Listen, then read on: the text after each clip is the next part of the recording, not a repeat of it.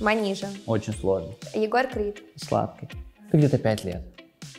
Ничего не скажу, потому что очень мало знаком. Сейчас все, кто заплатили фарго, такие, класс!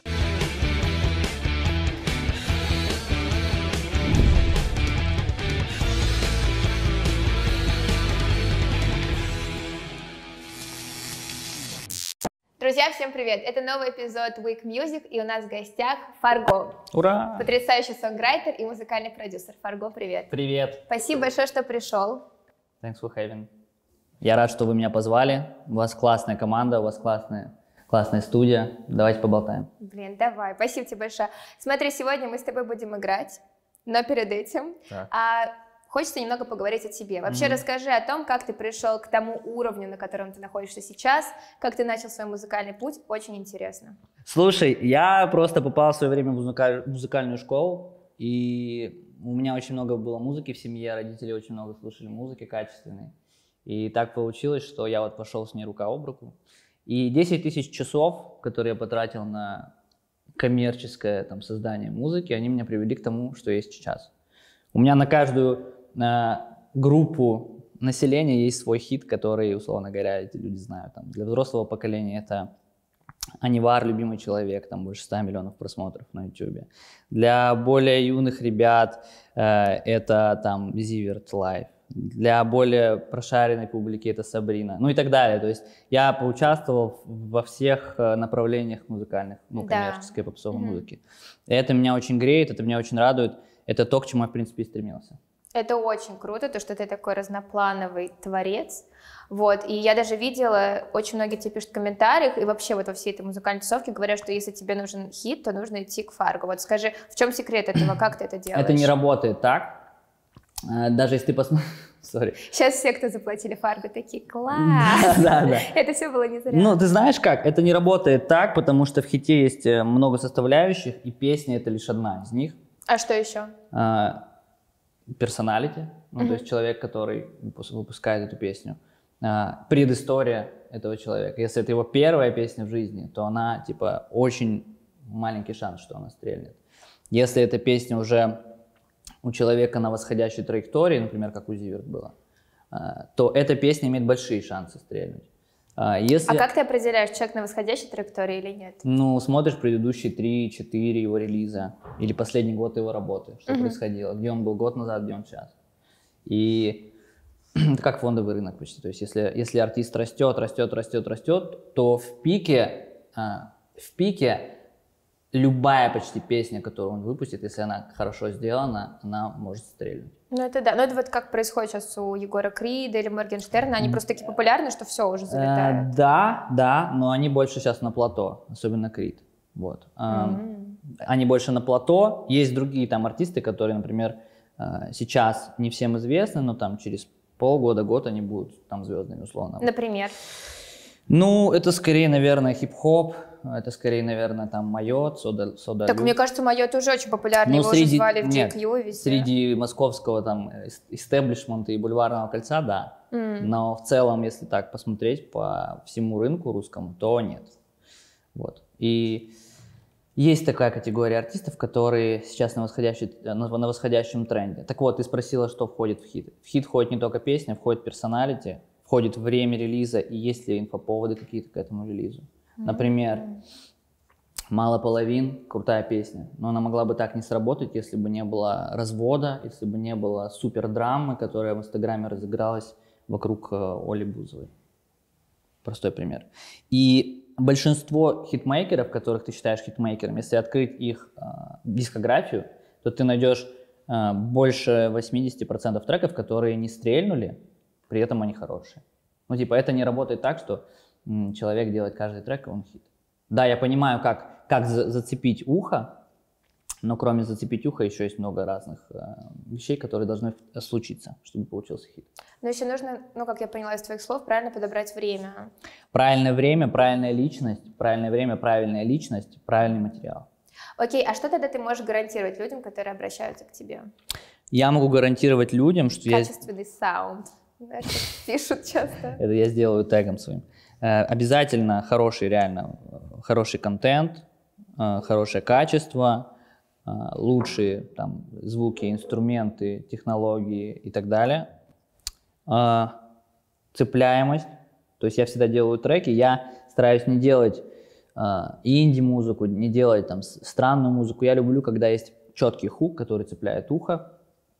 Ну, если я не работаю, допустим, там с Эрикой Люнтман или Сабриной. Ну это вот, да, Эрика другая, и Сабрина это для другая, меня это альтернатива Это больше. другая, да, это тема другая, там просто это, это просто поток, это просто реализация каких-то своих там мыслей, идей э, и так далее. Если мы говорим про коммерцию, про попсовые какие-то треки, то я делаю действительно, которые, которые стоят достаточно дорого, да, то я делаю, естественно, чтобы был хук, чтобы была зацепка, э, какой-то инструмент или какая-то фразочка или какая-то мелодия вокальная, и она точно будет в треке.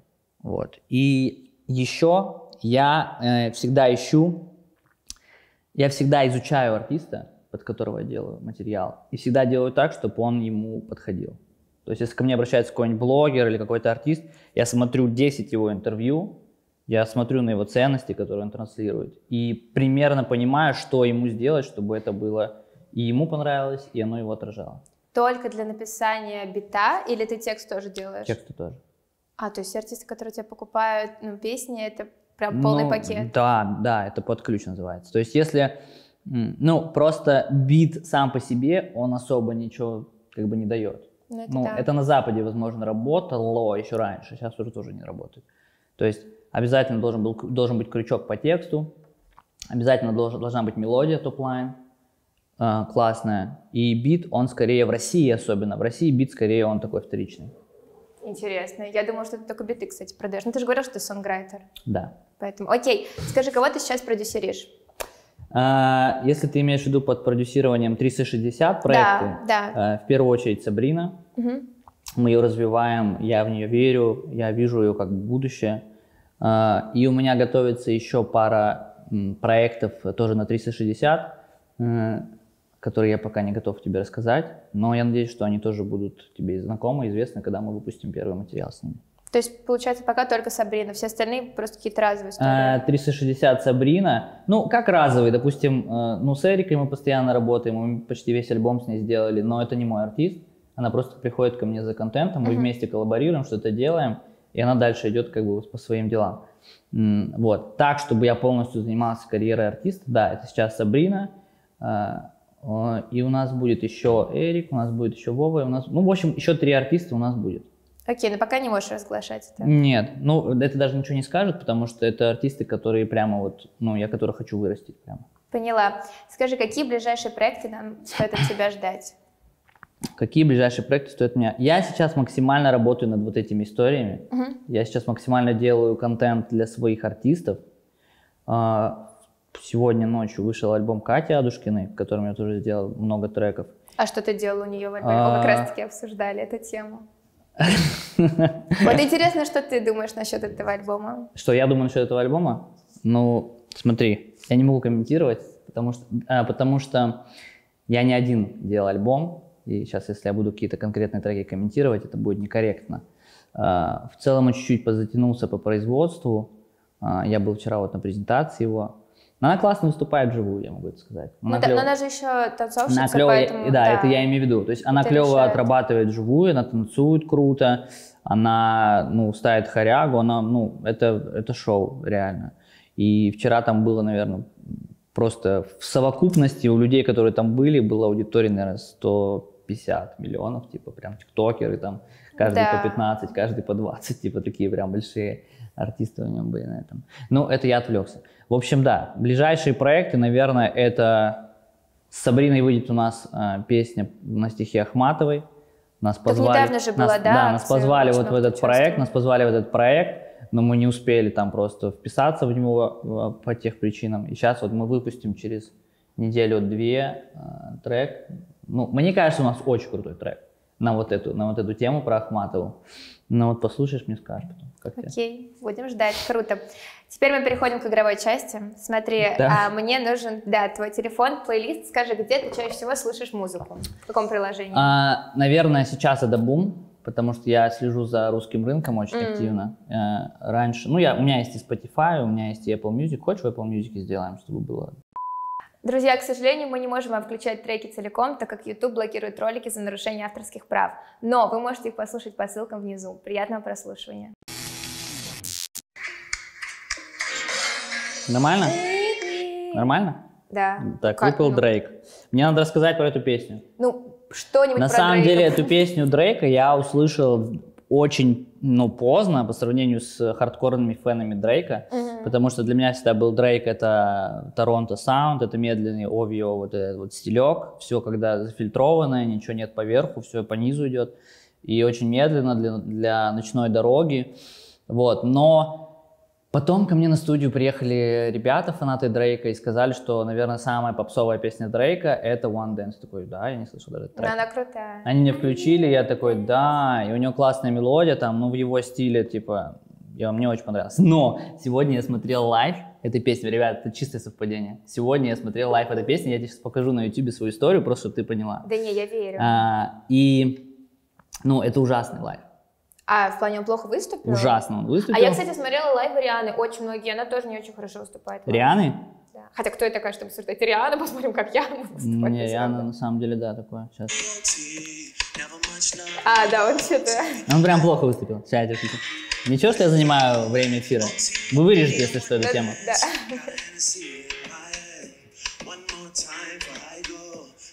Ну, типа, плохо прям спел. Слушай, не знаю, может, Но трек крутой. какие-то проблемы были в этот день. Ну, Ну, да, он не, плохо. это же не, как бы, понимаешь, вот эти ребята... сложно вокально спеть. Да, да, они не, не супер вокалисты, и это нормально, то есть они берут идеями. Окей, давай дальше. Идем дальше, шафл. А, Эстель. Ой, это что-то очень знакомое. Подожди. а. Это вот это та та та та та та та та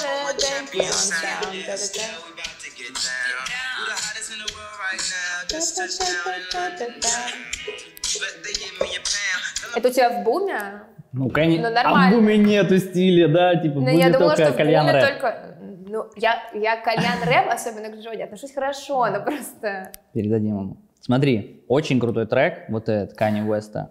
Really, really, really. То есть это даже не его трек, это Эстель трек, но он классно там залетает на фит. Я люблю фанковое звучание, а это чистый фанкес такой с бас-линией классной, с гитаркой, припев клевый фальцетный, Очень, да. и его э, куплет И это классный. прям хит до сих пор. Это, это поп-хит, да. То есть, если смотреть на дискографию Кани Уэста, то есть у него много более странного там материала и такого темного.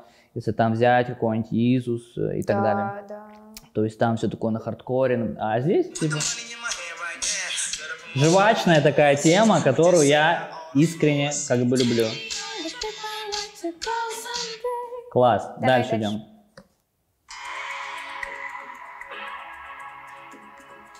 Не знаешь этот трек? Мгм. Ну, я дикий фанат как бы Дорна. И- Вот у нас все, кто приходили, кстати, Дорна. Ну, да. Потому что он очень крутой музыкант, фирменный музыкант. Он делает ту попсу, которой в России никогда не было и, возможно, и не будет. Такую прямо западного образца, типа самых высочайших стандартов качества, и идейно, и все такое. Поэтому все, что он делает, я за этим за всем слежу. Так, давай дальше. Еще два трека нужно от тебя. Но любые уже, можно. Уже любые, уже не обязательно, да? Ну, просто было интересно, что русское ты слушаешь. Ну, смотри, в чем прикол? Мне нужно слушать все Мгм. по роду службы, понимаешь? То есть я слушаю и, э, там, не знаю, френд-зону, и... э, Френ, зона! И Джо, да, и Джонни, и все на свете, короче, я слушаю, понимаешь? М. А, И что- как относишься к ним, к френдзоне, к Джонни? Ну, это разный музон. Ну, я ко всем отношусь клево. Ну, кроме, наверное, тех, кто прямо байтит жестко. Например, Ну, рэперов вот всяких, вот, которые 50к сумки у папы, как, как его зовут? Некоторые ребята, которые в хип-хопе как бы двигаются, они очень жестко копируют, ну, Запад, очень жестко. Прям до, э, до того, что интонации копируют. Прямо вот интонирование, ну, ну это... вот, например, кто вы? Давай вот примеры. Имена, немножко неймдропинга. ну, например, Сода Люф. а, И кого копируют? а, Они копируют то Янг Тага, то копируют, а, пацана забыл, как звали его.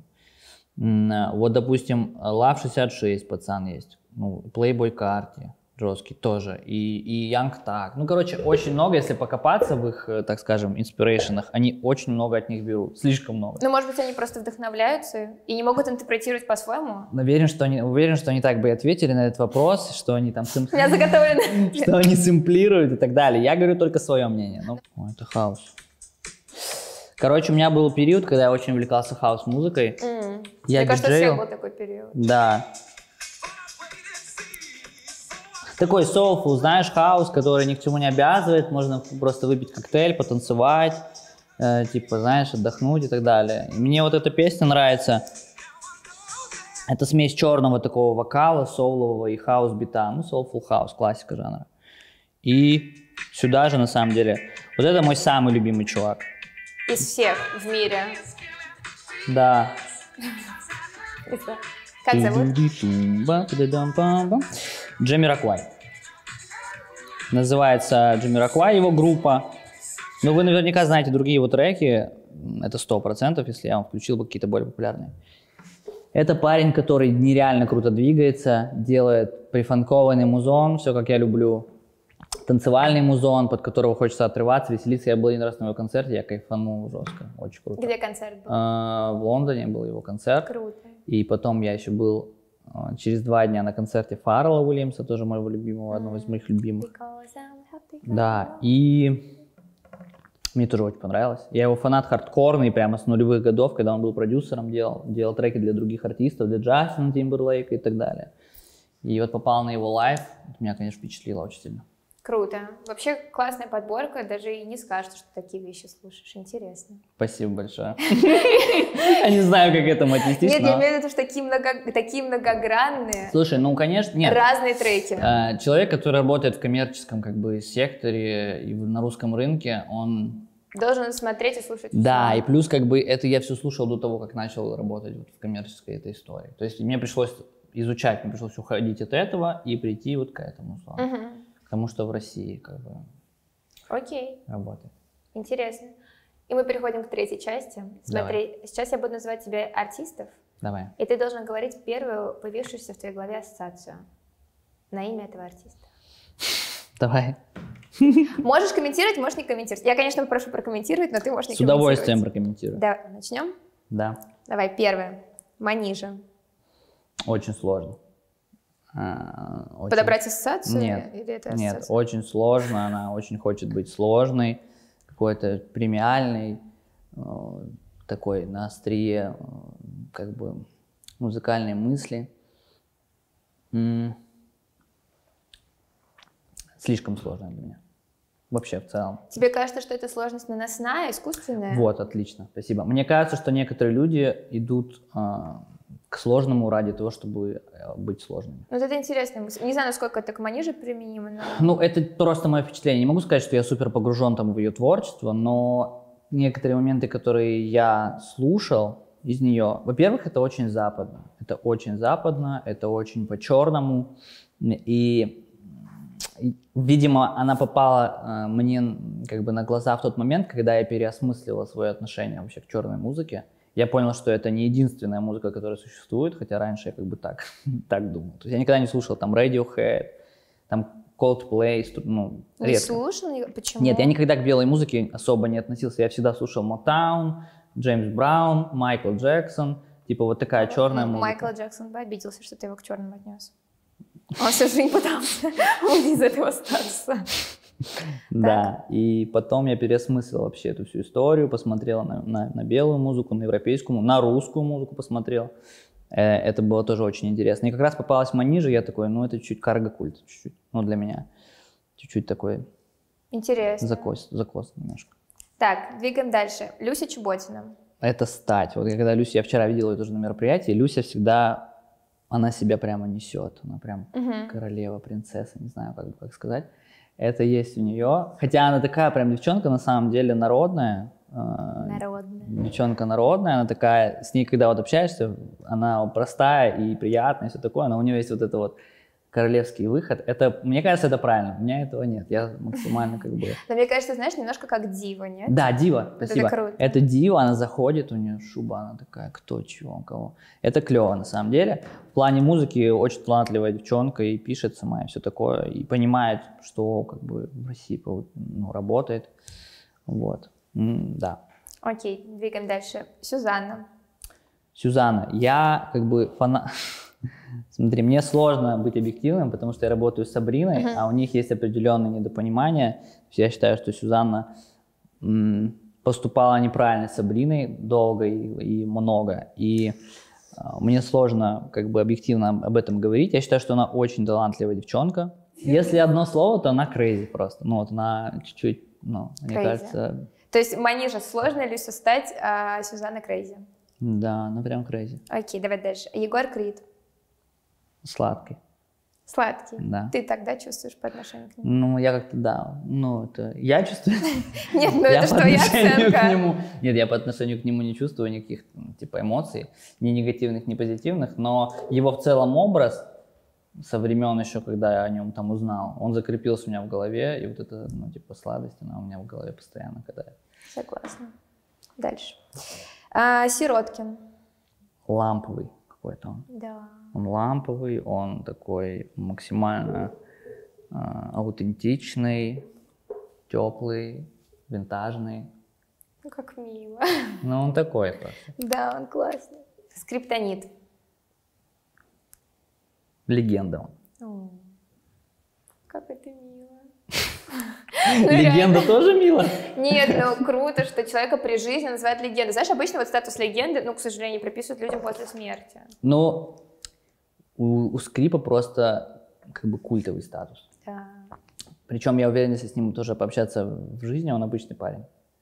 А вы Но, не знакомы? Я с, ним, обзна- я с ним знакомился один раз в 2014 году. М. С тех пор прошло лет 7, получается 8 уже даже. И с тех пор я его не знаю. Но когда он только приехал в Москву, самое-самое первое выступление на Газгольдере, на Курской, я был ди- диджеем на этом мероприятии. И он мне давал флешку со своими треками, которые еще не вышли. Я их там запускал. Э, И он показался мне простым парнем достаточно. Но тот вклад в музыку, визуальный ряд и стиль, который он нес, и его манера, конечно, исполнять, это уникально, и это, ну, Он это, это заслуживает на самом деле такого отношения. Да, true. Двигаем дальше. Кино. Кино это тембр. Ну, у кино тембр есть. И она его может круто использовать. э, И в R&B, и в соул. Сейчас она рок делает, вообще, насколько я Мгм. помню. Вот. Кино это тембр, он у нее есть, и ей надо им пользоваться. Окей. А, Муся Татибадзе. Ничего не скажу, потому что очень мало знаком. Очень мало знаком. Единственное, из, из тех людей, которые форсят, я понимаю, что это супер артовая какая-то история. Мгм. Но я не могу прокомментировать это сознанием дела сейчас. Окей. Давай дальше. Тимати. Тимати — это западник. Вот такое слово у меня есть. Западник. Человек, который нес всегда американские ценности. а, Со времен начала своей карьеры. Я не знаю, ты застала, нет, не застала его? Ну, смотря как, что считать началом. Ну, вот, когда он был совсем малышом, нет, а вот это вот «Плачут небеса». Застала. Ну, но это, да. ну, но это типа. 2003 год, четвертый год, пятый год. Пятый, да, наверное? Это пятый год. Ну, да, мне было уже Сколько? шесть Год? Шесть. Шесть? Ну, смотри, э, он с самого начала нес как бы вот эту западную эстетику, протестантскую этику рабочую, то, что... Протестантскую этику. А это как, как вообще выражался в Но музыке? смотри, в американской культуре вообще богатство и роскошь, оно имеет, в виду, имеет немножко другое, другой контекст. В американской культуре, если ты богат, значит, ты благословлен Господом, значит, ты хорошо поработал, значит, ты молодец, и ты заслужил, э, ты заслужил там попасть в рай. Очень, очень упрощаю, очень грубо. А, В восточноевропейской и византийской вот этой всей эстетике обратная ситуация, богобоязненность, то есть быть смиренным, сильно не выпендриваться. Так вот, он нес в, в Россию, в Восточную Европу вот эти вот ценности американской жизни, которые очень сложно заходили на самом деле. У него было очень много хейтеров всегда. Вот, но мне очень была близка эта музыка в то время. R&B, такой хип-хоп, э, и мне, я уже потом, наверное, откололся, когда он начал делать более такой вот мемный совсем рэп. Вот. Ну, он, он, он, он очень хороший человек, я с ним знаком э, лично, и хейт в его сторону сильно преувеличен. Мне тоже кажется, что он хороший. Но он клевый, на самом деле он клевый. И я даже так скажу, люди, которых э, в медиа не очень недолюбливают, они, как правило, клевые.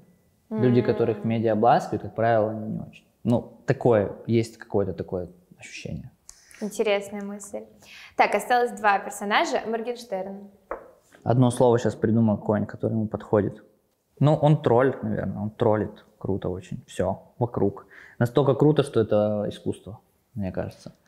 И кроме того, он очень круто исполняет. У него очень крутые длибы, у него очень крутое владение голосом, он очень креативно придумывает разные манеры в разных треках.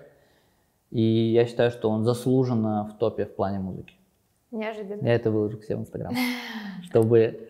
Но это не, не такая, не, не расхожее мнение, мне кажется, среди музыкальных кругов. А Ты прикол знаешь... в том, что я не, я не оцениваю его, э, скажем так, я не оцениваю его, я оцениваю только музыку, его умение исполнять, его талант музыкальный. Вот что я оцениваю сейчас. Mm-hmm. Я не оцениваю смысловую нагрузку, которую он несет.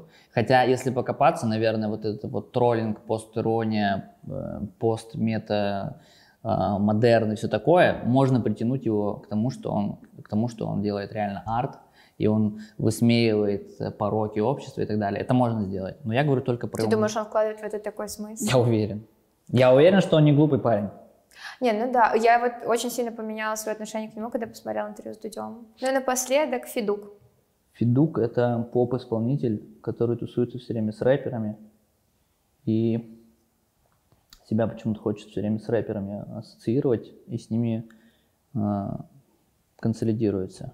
Мне кажется, Федук больше в сторону Дорна, бестселлера, больше в сторону вот стильного поп, крем-соды. Кстати, крем-соды ему сделали последний mm-hmm. альбом больше в сторону крем-соды, вот такого больше хаусового звучания, а, более стильного и так далее.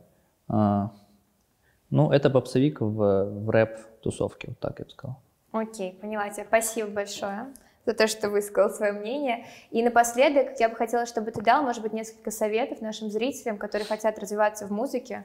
Вот как бы ты им сейчас посоветовал заходить во все это пространство, как искать свое звучание, просто немного советов от мудрого человека. Ну, первое это 10 тысяч часов, то есть надо прямо провести за этим время. Зачем конкретно? За написанием песен? Ну, смотря в чем ты хочешь преуспеть. Угу. Если ты хочешь преуспеть в том, чтобы быть классным автором, надо 10 тысяч часов писать песни. Если ты хочешь преуспеть в том, чтобы быть классным, я не знаю, блогером, надо 10 тысяч часов пилить контент, и ты в нем, и ты будешь, и ты, у, тебя, у тебя появится крутой скилл для того, чтобы это делать. И плюс еще у тебя остаточный хвост от этого времени будет наращиваться аудитория. 10 тысяч часов, интересно, это сколько? Это где-то 5 лет.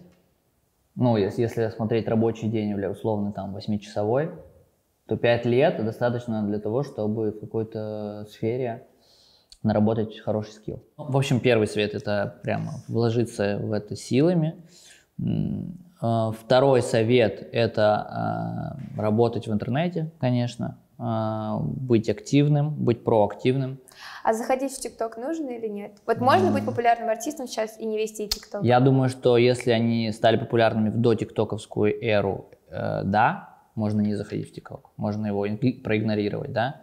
Если они начинают работу сейчас, то э, не ТикТок, так другая какая-то социальная сеть, mm-hmm. она будет, и нужно быть в ней активным. Исключения какие-то мессии, типа, знаешь, есть такие люди, которым вообще ничего не надо, условно там Земфира, там условно такие вот такого уровня артисты, которым в принципе мои советы особо не нужны, да, uh они по-любому будут крутыми, независимо от там платформ, социальных сетей и так далее.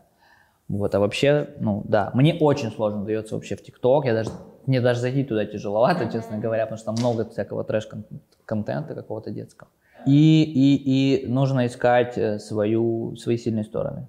То есть надо э, развивать свои сильные стороны и не пытаться играть на своих слабых сторонах.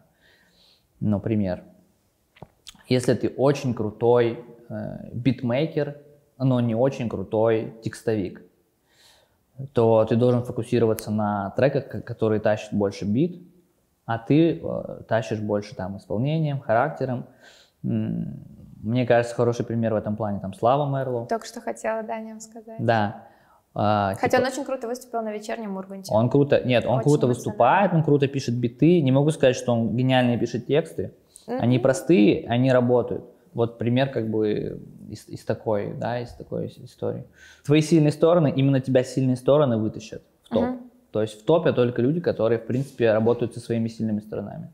Окей, очень интересно, спасибо тебе большое. Вам спасибо. Вот, а вы, друзья, подписывайтесь на наш канал, ставьте пальцы вверх и всем пока.